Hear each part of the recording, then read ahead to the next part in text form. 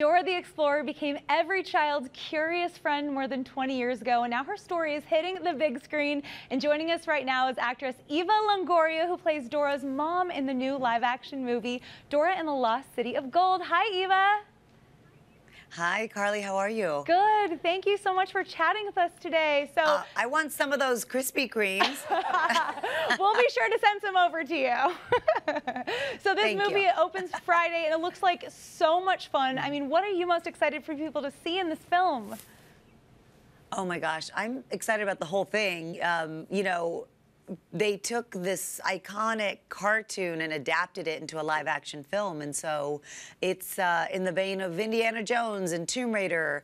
Um, and at the center is Dora, who is adventurous and fun and intelligent and brave. Um, they also, you know, it's not six year old Dora, it's 16 year old Dora. So we aged her up and she's not only navigating the jungle, but navigating the jungle of high school. So she's kind of a fish out of water, has been in the jungle her whole life.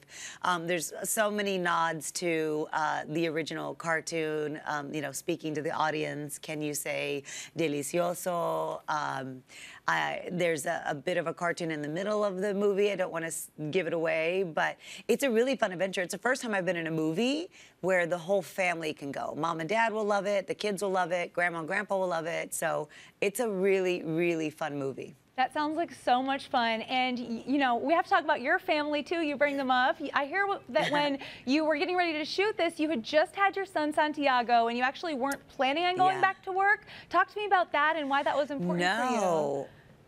No, you know, Dora was such an icon uh, in my community, and then I realized she was a global icon to kids all over the world, not just for Hispanics. And so, um, I, when they told me I was going to be playing her mom, and this was kind of an origin story, I just I, I had to do it. But Santi was two months old, and we flew to Australia in the rainforest and the jungle of the Gold Coast and filmed this movie. But it was great. I mean, I was breastfeeding and not sleeping, but we did it, we got through it, and the movie's amazing. That's an experience, just bringing your baby to the jungle, right? yeah, that was fun. And I'll always see Dora, I'll always look at this movie with just this beautiful memory of, of having Santi with me the whole time. He's such a cutie. How is he? He's amazing. He's walking, so I'm in trouble now. Um, but he just started walking. He says mama and papa. Um, he's really funny. He's just a funny kid. Oh, how has becoming a mom changed you? What's your favorite way that it's changed you? Oh gosh, I mean, it's changed everything in every way. Um, you know, I'm a multitasker at heart, and so when people go, "Oh my gosh, your whole life like gets, you know, crazy," I'm like, no, it actually is better because I. Uh, my brain operates this way of like I like a schedule and, and you know he's on a schedule and, and when he eats and when he sleeps and when he naps and when he wakes up and when he has his bottle and and I love that. Like I need order in my life. So having a child like kind of makes you do that if you're not used to that. But for me it's like yay!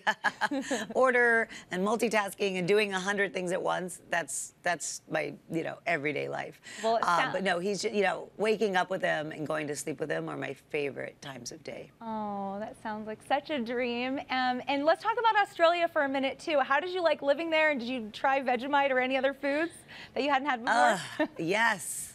I tried Vegemite and it was disgusting. I don't know why they eat that. Um, I couldn't uh, agree It was more. amazing. You know, we were in the we were in the north, um, and like I said, in the rainforest. So like everything you see in the movie is real. There was bugs and spiders and snakes, and um, you know they kept telling us, okay, just be careful and uh, you know don't you know wear your boots really high, and here's this tick machine to you know give off a frequency so animals don't come near you. And I was like, is this are we gonna die?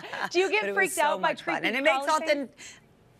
Yeah, creepy crawly things. You know, Australia has like nine of the deadliest snakes in the world or eight of the deadliest spiders and i'm like and we were there like right there where they live roughing it in the jungle well thank you so much for chatting with us today we can't wait to see dora in the lost city of gold it hits theaters this friday